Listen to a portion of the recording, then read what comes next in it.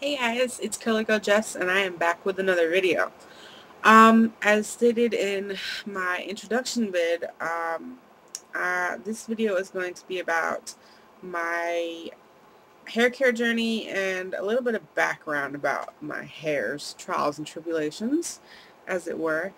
Um, so I'm going to start off with my most asked question that I have ever gotten and I probably will ever get for the rest of my life. And um, that is, I've had people so many times just walk up to me out of the blue and say, what are you? And to answer their question, and your question if you have it, I am half black and half white. And to add to that, um, I am adopted by a white family. So, um, in terms of hair care, it's been pretty kind of poor growing up. It was kind of horrible. Um, but I can't blame it on my mom because she just didn't know. I didn't know. And, um, you know, it's kind of like a learning process, I guess. Um, and I know a lot of girls are um, kind of can relate to that. Um, but to start off, um, I was always that girl that everyone came up to me and they said, "Ooh, Jessica's good hair. Jessica, you have such good hair. It's so pretty. It's so long. I love your hair. I wish like I had your hair." And I also was that girl whose mothers and grandmothers and aunts and older sisters came to my mom and was like, "What are you doing to that child's hair? Like, bring her over to my house so I can do her hair properly for you." um, yeah, I was that girl.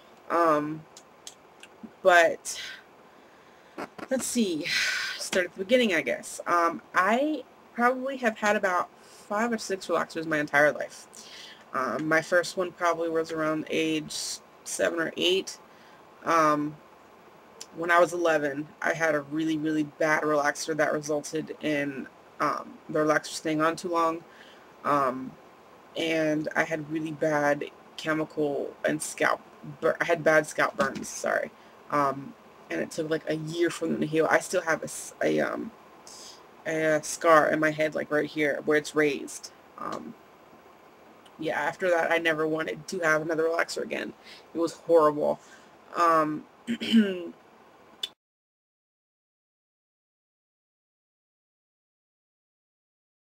when I was 17 or 18, I don't remember which, um, but when I was 17 or 18, I literally fell in love with a flat iron.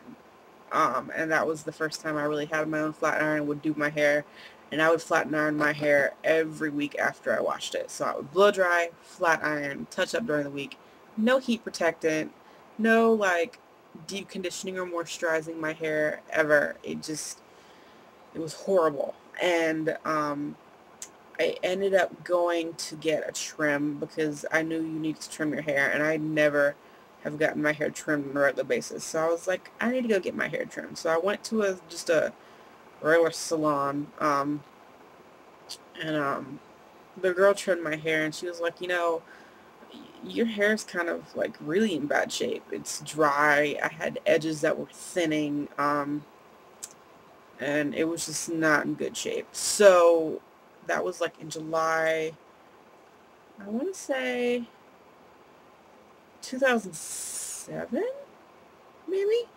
Um, 2007 or 2008, maybe.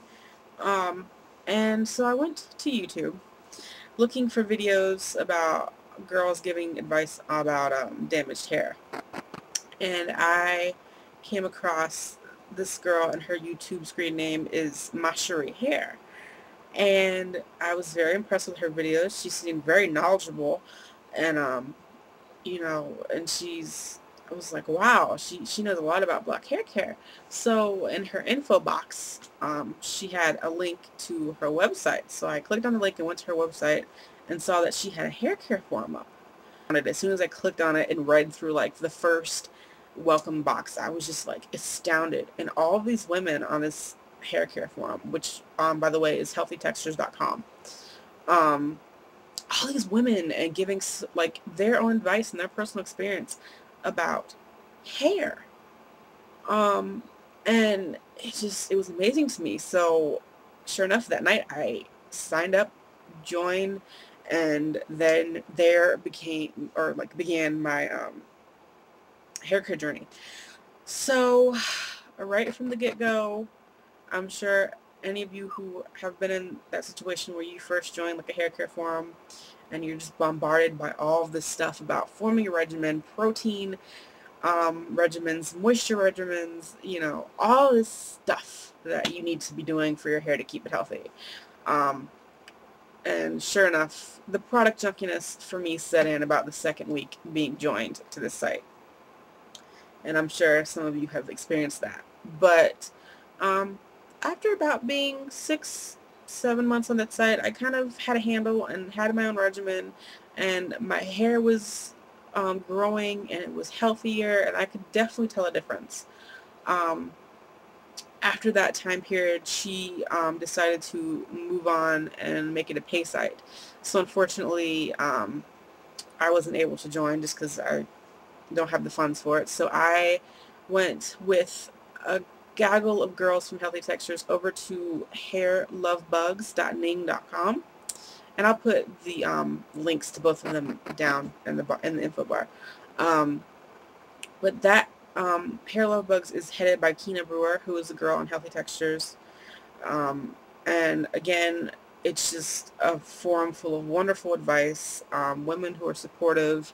And if you have a question, I guarantee if you search through you'll find it. And if it's not there, if you put up a blog post and ask a question, it'll be answered. Um, and it's just, it's a really good place to learn and start your hair care journey.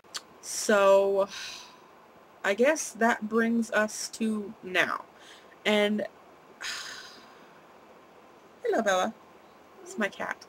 Um, so I think in my last video said I've been on my hair care journey for two years, but now thinking on it, if I started in July of 07, which I think I did, I'm pretty sure. Actually, it'll probably be almost three years now.